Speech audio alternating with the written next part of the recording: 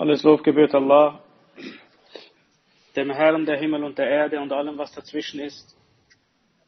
Und ich bezeuge, dass niemand das Recht hat, angebetet zu werden, außer Allah und dass Muhammad sein Gesandter und sein Diener ist, sallallahu alaihi wasallam.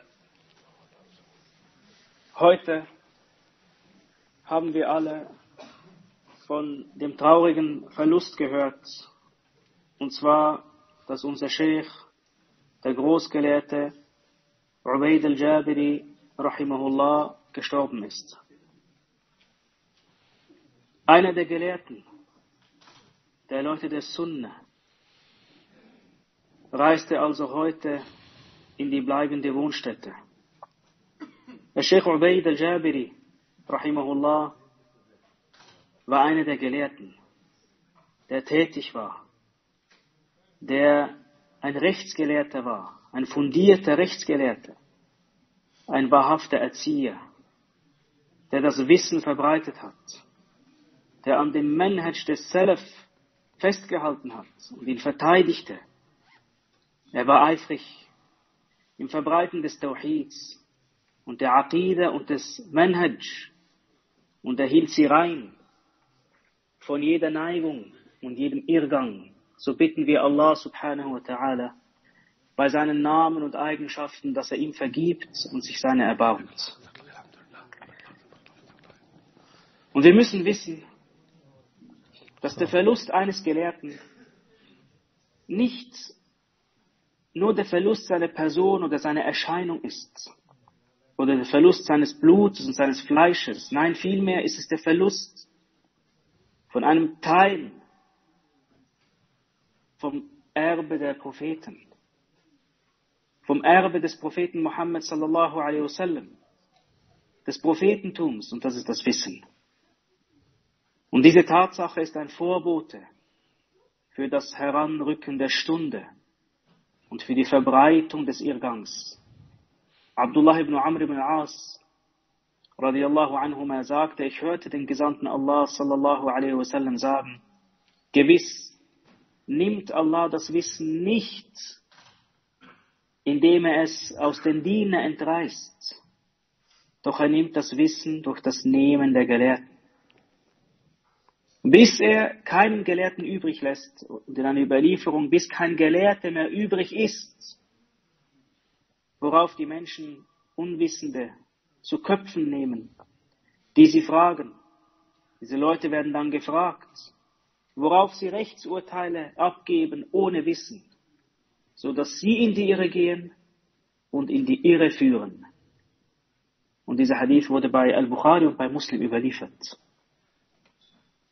Abdullah ibn Abbas radiallahu anhuma sagte über die sinngemäße Aussage Allahs, sehen Sie denn nicht, dass wir über das Land kommen und es an seinen Enden kürzen? Ibn Abbas sagte über diesen Vers die Zerstörung des Landes ist im Tod der Gelehrten, der Rechtsgelehrten und der Leute des Guten. Und es gibt keinen Zweifel daran, dass der Tod der Gelehrten ein schwerwiegendes Unglück ist. Eine gewaltige Katastrophe und eine große Prüfung.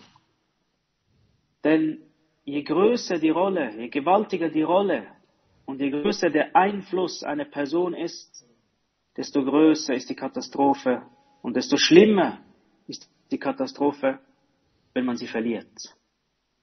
Doch es ist das Gesetz Allahs.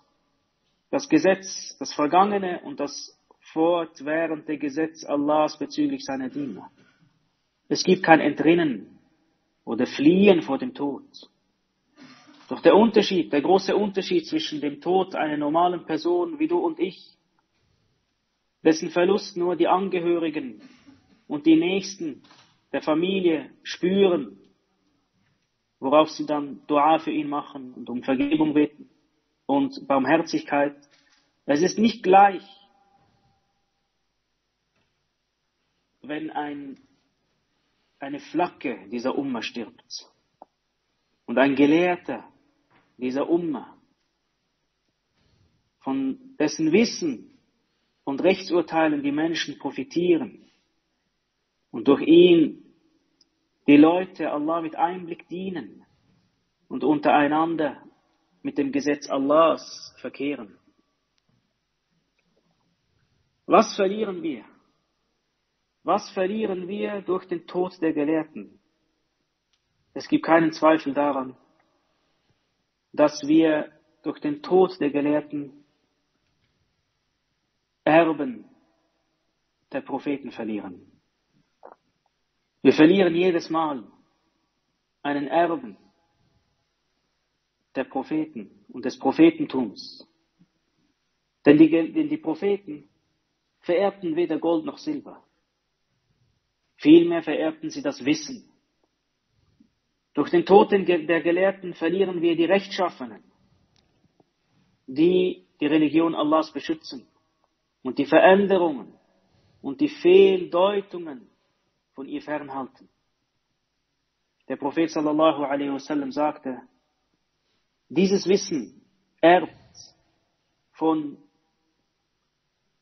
von jedem Nachkommen die Rechtschaffenen. Sie halten von ihm die Auslegung der Unwissenden, die Verfälschungen der Falschhandelnden und die Veränderung der Übertreiber fern. Es bedeutet nicht, dass wenn einer der Gelehrten stirbt, dass die Umma verloren ist und in Unwissenheit umherirrt. Denn, Alhamdulillah, im Rest der Leute, der wissen, ist noch viel Gutes. Wie viele Gelehrten sind gestorben? Und wie viele Imame wurden begraben? Ja, sogar der Prophet Muhammad sallallahu alaihi wasallam starb. Der Prophet Muhammad sallallahu alaihi wasallam wurde beerdigt. Doch die Religion Allahs bleibt.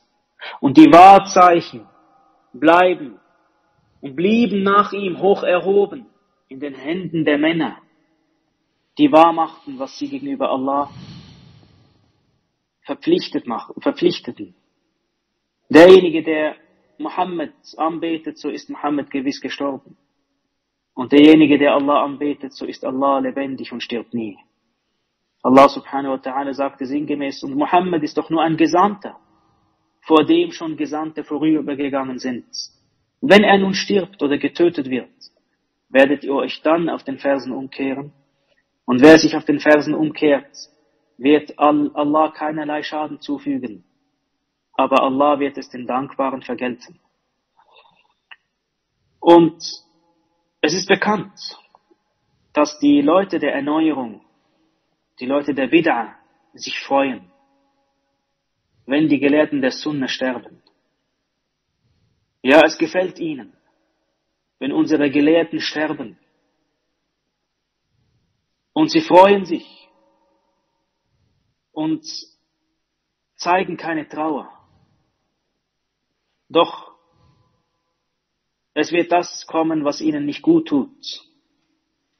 Denn Allah subhanahu wa ta'ala versprach durch die Zunge unseres Propheten sallallahu alaihi wasallam, dass er am Anfang aller hundert Jahre jemanden entsendet, der die Angelegenheit der Religion dieser Umma erneuert bzw. korrigiert. Das heißt, es stirbt keine Generation der Gelehrten, außer dass eine Generation eine andere Generation von Gelehrten nachfolgt. Außer wenn Allah es will. Und Allah hört nicht auf, in dieser Umma Leute sein zu lassen, die die Angelegenheit dieser Religion lehren. Und die Veränderung der Übertreiber und die Verfälschung der Falschhandelnden und die Auslegung der Unwissenden fernhält von dieser, fernhalten von dieser Religion. Der Prophet sallallahu alaihi wasallam sagte, es wird immer eine Gruppe von meiner Umma geben, die offenkundig auf der Wahrheit ist. Weder schaden ihnen die, die sie hintergehen, noch die, die sich ihnen widersetzen, bis der Befehl Allahs kommt und sie sich auf dem befinden. Hamad ibn Zayd, rahimahullah, sagte, ich war anwesend, als Ayyub al-Sikhtiani rahimahullah, einen seiner Gefährten wusch, yani, dass die Totenwaschung vollzog.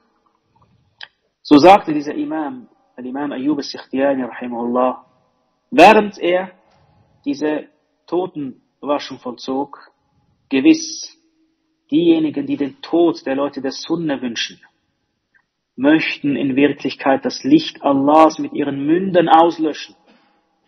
Doch Allah vervollständigt sein Licht, auch wenn es die Ungläubigen hassen. Und zuletzt sagen wir, gewiss ist der Schrecken dieses Unglücks, gewiss hat uns der Schrecken dieses Unglücks getroffen. Und es ist eine harte Wunde. Doch all dies erfordert die Vollständigkeit der Zufriedenheit gegenüber der Vorherbestimmung Allah subhanahu wa ta'ala. Gewiss weint das Auge und trauert das Herz, doch wir sagen nur das, was unseren Herrn zufriedenstellt. So bitten wir Allah subhanahu wa ta'ala, dass er sich den Gelehrten der Muslime erbarmt und dass er ihre Gräber mit Licht füllt dass er ihre Sünden vergibt. Wallahu ta'ala a'lam wa sallallahu wa sallam ala nabiyyina Muhammad.